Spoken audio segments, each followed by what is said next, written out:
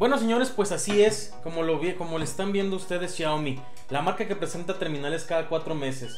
A finales del 2020, inicios del 2021, presentó el Mi 11, señores. No presentó en esta ocasión varios dispositivos o varias alternativas como el Mi 11 Pro o el Mi 11 Ultra. Como por ejemplo aquí tenemos el 10T, el 10T Pro, el 10T Lite. En esta no lo hizo así. Presentó solamente uno, el Mi 11. Así que vamos a platicar al respecto sobre lo que es este dispositivo. Viene con MIUI 12.5 con mejoras a un sistema que ya de por sí es bastante bueno, calcado de un iPhone pero con Android, lo que lo hace casi perfecto para muchos. Presenta una opción ya para conectarlo a Windows para que tu teléfono tenga una mejor integración, al menos eso nos muestran en la presentación. ¿Cómo funcionará? Pues con un código QR que agarras, lo escaneas y listo, así se conectará, así de hermoso. Esta integración ya la hemos visto antes en donde, pues en Samsung y también la hemos visto en Huawei con sus terminales.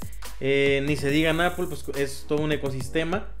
Pero bueno, ya va a poder hacer eso Xiaomi también. Está creciendo, está, está logrando más alianzas con diferente tipo de marcas, lo cual me agrada bastante.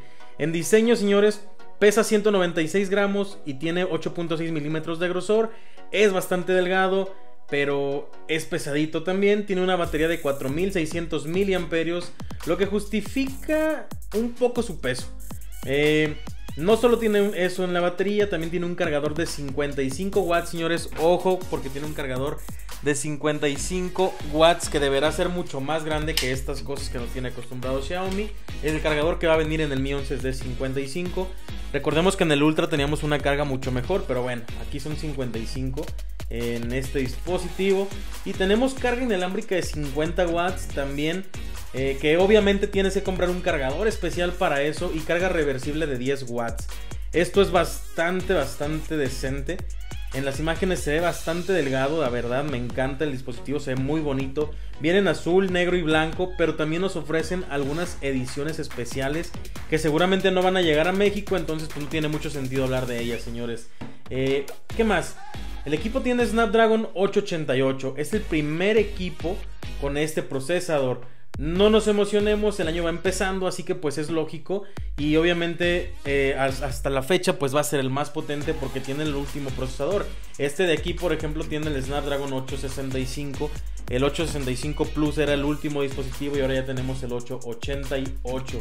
En la práctica no vas a notar una diferencia porque la diferencia es de milisegundos, entonces no lo vas a percibir. El 865 o el 888 realmente pues para el día a día va a dar prácticamente igual. Eh, una presentación llena de referencias a Apple, lo cual en lo personal no sé si me da risa o me da tristeza, porque si le tiran y siempre se la pasan diciendo mi teléfono es mejor, mi teléfono tiene esto, pero pues ¿para qué te comparas? O sea, tú haces muy buenos terminales, entonces no, no te rebajes tanto Xiaomi, ¿no? No necesitas hacerlo realmente. Van a colaborar, señores. Eh, ah, permítanme, porque dice Xiaomi que la pantalla es AMOLED y es el primer AMOLED de Xiaomi en 2K con tasa de 120. Xiaomi ya tiene varios con tasa de 120. Este dispositivo inclusive tiene una tasa de refresco superior y la verdad es que está súper fluido y se ve súper súper bien. Me encanta. Esta tasa va a ser de 120, 515 píxeles por pulgada y Gorilla Glass Invictus. Es el mismo que viene en la Note 20 Así que tengan cuidado porque ya vieron, a mí se me rompió, aunque por la parte de atrás, pero también por la parte de enfrente hay muchos, muchos reportes de que se rompe, señores. Así que pónganle un protector, por el amor de Dios, si lo compran. Van a colaborar con Harman Kardon en el sonido, los altavoces son estéreos, firmados ah, por, por AKG, como les comento. Son, sí, es la marca de las bocinas bonitas, las Sonics, las que vende Samsung. Esas señores que de los que todo Samsung todos los dispositivos de Samsung tienen esas, esa firma de en los auriculares y está firmado por los mismos. Algunos de sus gamas más altas en Samsung tienen los altavoces de Harman Kardon y suenan bastante, bastante bien. Así que tendremos lo mismo aquí. Tenemos vamos a tener un sonido estéreo. Un sonido estéreo aquí y acá. Y va a ser Harman Kardon. Se va a escuchar muy bien. Tampoco esperen el gran sonido. Estamos hablando de un celular a final de cuentas. Unas bocinitas súper pequeñas pero pues van a sonar mucho mejor y lo mejor de todo es que sonido estéreo, señores. Las cámaras. En las cámaras nos presentan un módulo prácticamente calcado a esto, muy muy similar. Eh, hay algunas diferencias, sí, pero prácticamente es un diseño muy parecido a esto. ¿Qué quiero decirles con eso? Viene en las siguientes configuraciones. La principal es de 108 megapíxeles, en este también. Tiene un gran angular de 13 megapíxeles, este también. Tiene un macro de 5 megapíxeles, este también. Qué curioso, ¿verdad? En un módulo, eh, muy curioso el que le llaman ojo de Minion algunos. Ya vemos un módulo así, en este precisamente, señores. Cosa que... Ah, pues no entiendo, no entiendo mucho de Xiaomi, la verdad. Pero bueno, la cámara frontal va a ser de 20 megapíxeles. El sensor de 128 ya lo hemos visto en Xiaomi desde el Mi Note 10. Entonces, pues no sé, creo que les está faltando ya por ahí innovarle un poquito en las cámaras, tienen que ofrecer algo un poco más, porque pues prácticamente me están ofreciendo esta configuración del Mi 10 Pro y tengo que pagar más, únicamente la diferencia que yo encuentro ahí es que es 2K y encuentro también que pues tenemos una mejor carga, una mejor carga rápida, pero la carga de este es muy buena. Si no has visto el video te lo dejo por ahí.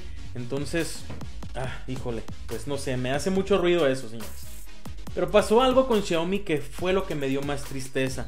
Xiaomi se despide de estas cajas gordas, ya no va a tener estas cajas gordas. El equipo viene sin cargador incluido. Y primero me da pena porque como les repetí, cuando Apple lo hizo, Xiaomi se burló con la presentación de este, por ejemplo, nuevamente. Dijo que aquí sí teníamos cargador, bla, bla, bla. Eh, pero bueno, ya no traen cargador, así que trágate tus palabras, Xiaomi. Métetelas en la boquita otra vez. No todos lágrimas, señores, porque van a tener dos versiones. Una que va a tener el cargador y una que no lo va a tener. Pero es que es una tontería, de verdad. No sé en qué están pensando los ingenieros en qué estaban pensando la gente de marketing, en qué estaba pensando el tipo que hace la estrategia. Estás lanzando un primer equipo de Xiaomi que tiene carga de 55 watts. Obviamente todo el mundo va a querer el cargador, es obvio, señores. Yo no tengo un cargador de Xiaomi que cargue eso, entonces a fuerzas lo voy a creer. Quizá en los siguientes lanzamientos que tengan carga de 55 watts, yo diga, bueno, ya no lo necesito, ya tengo uno. Pero este es de 33. O sea, ¿qué voy a hacer con eso? Si me, si, me compro el otro, obviamente voy a decir, no, si quiero el cargador, ¿por qué? Porque no tengo un cargador con esa potencia. Entonces se me hace muy tonto. Se suban al tren del mame diciendo que es para reducir el impacto al medio ambiente. Pero Xiaomi es de las marcas que más impactan el medio ambiente. O sea, presentan dispositivos cada cuatro meses aproximadamente. Solo en celulares. Recordemos que tiene una gama impresionante de, de gadgets y de accesorios. Entonces, eh, los dispositivos suelen ser muy genéricos en sus gamas bajas o dispositivos que cambian una nada de un año a otro.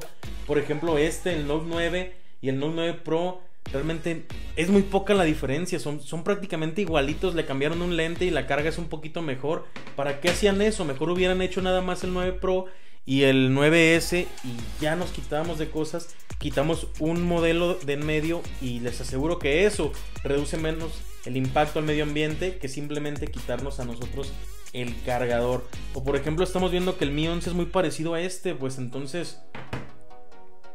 O sea, mejor te hubieras esperado, ¿no?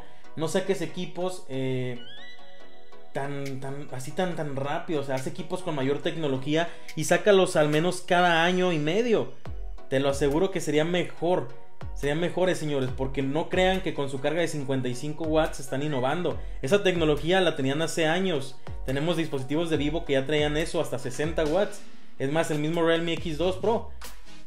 Eh, hoy tienen ya la tecnología de los equipos para los próximos lanzamientos, pero nos van dando de a poquito, de a poquito. ¿Para qué? Para comprar equipos cada cuatro meses. Entonces, a mí me parece hipócrita, no quiero sonar conspiranoico, pero me parece tonto que quiten el cargador y hagan ese tipo de cosas, señores. ¿Cuánto va a costar el equipo? Cuesta alrededor de 650 dólares, al menos en la presentación eso mostraron. Eh, algunos canales en español ya lo trajeron y cuesta alrededor de 850 dólares traerlo aquí a México. Recordemos que viene con la room china, solo en inglés por el momento o chino, lo que a muchos puede no gustarles, además de que tienes que instalarle la Play Store y a muchos tampoco les gusta eso y yo me incluyo ahí. Realmente yo eh, tengo problemas con Xiaomi últimamente porque siento que ya no están innovando. Nos están entregando prácticamente lo mismo. Vean, las, vean realmente y si el Mi 9, el Mi 10T Pro le ponemos dos, tres cositas, es el Mi 11. O sea, Xiaomi ya, no sé, a mí realmente me tiene muy decepcionado. Y más me decepcionó, señores, con esa medida del cargador. Pero bueno, eso es todo por mi parte. Este es mi análisis de la presentación del Mi 11. Disculpen que no tenga aquí el dispositivo, pues obviamente va saliendo. Voy a tratar de traerlo al canal con el dolor de mi corazón, pero lo voy a traer para ustedes. Así que suscríbete, activa la campanita, déjame saber en todos los comentarios qué opinas tú del lanzamiento del Mi 11. Para mí, la verdad, no sé si decirlo. Mmm, me emocionaba y me decepcionó al final. Creo que nos están dando cada vez menos. Nos están dando las innovaciones más a cuentagotas con cucharita. Y la verdad eso no me gusta que esté haciendo Xiaomi. Señores, esto es todo por mi parte. Me voy y me despido. Gracias a todos. Suscríbanse, activen la campanita, síganme en Instagram. Nos vemos en el siguiente video.